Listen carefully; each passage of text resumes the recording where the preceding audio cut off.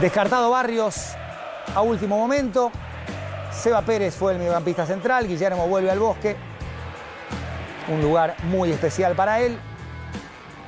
Aquí comenzó su carrera como futbolista profesional. Pablo Pérez, él gesta la jugada. Amaga ir para el lado de más, pero juega con Pavón.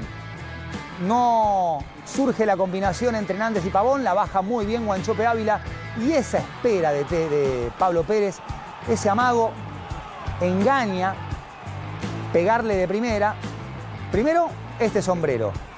Levanta la cabeza, pica más, pero ahí cambia de dirección y va para el otro lado, de Boca tiene más gente. Están Pavón y Nández, que no pueden construir la pared. Nández cambia el sentido y muy bien Guanchope Ávila.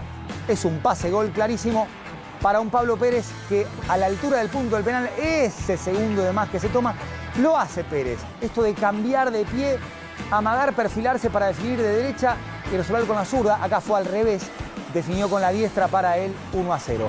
Muy buen pase de Colazo y acá Dible se queda sin perfil zurdo, es diestro puro y no remata bien. El pase fue a la espalda de Jara. La pelota parada, marcación mixta de Boca al hombre con tres y zona en el área chica, donde hay solamente un jugador de gimnasia.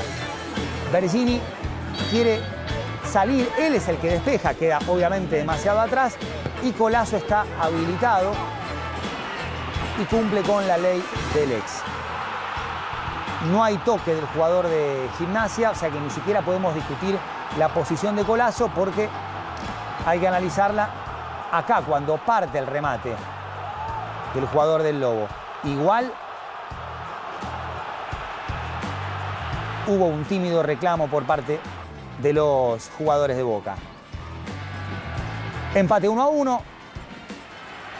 Gimnasia con un 4-2-3-1. Farabelli detrás de Contín, con Dible y Colazo abiertos. Acá Colazo se cierra, le prende cartucho desde afuera.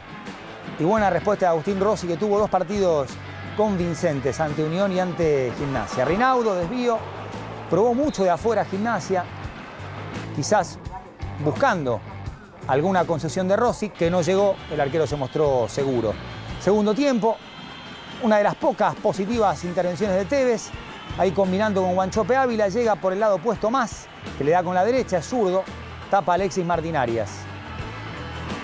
Boca con rombo en el medio, Nández de 8, Sebastián Pérez de 5, Pablo Pérez mediocampista izquierdo, Tevez detrás de Ávila y Pavón, Ávila de 9, fijando centrales, fajándose con ellos, Pavón rotando siempre por un costado, o la derecha o la izquierda, como apareció en la última jugada.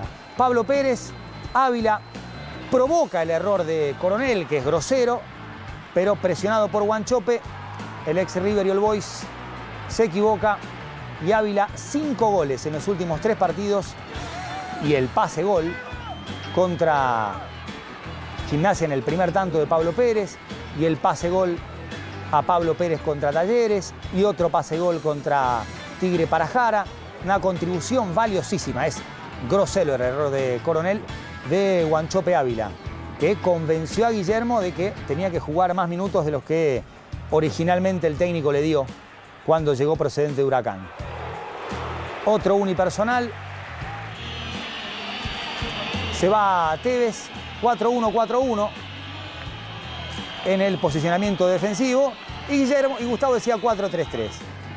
Lo mismo, 4-1-4-1 es el retroceso de Junior Benítez y Pavón por los costados. Seba Pérez, Nández y Pablo Pérez seguían armando el triángulo del medio.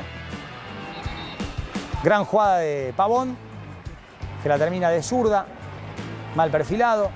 Jara, ya estaba Junior Benítez, aquí hay falta para mí, más allá de que no entró bien el ex Lanús, perdió unas cuantas pelotas, pero acá había infracción. La jugada sigue, patea a Brian Alemán, se desvía en Magallán. Y 2-2 a los 35, la falta es del Bochilich.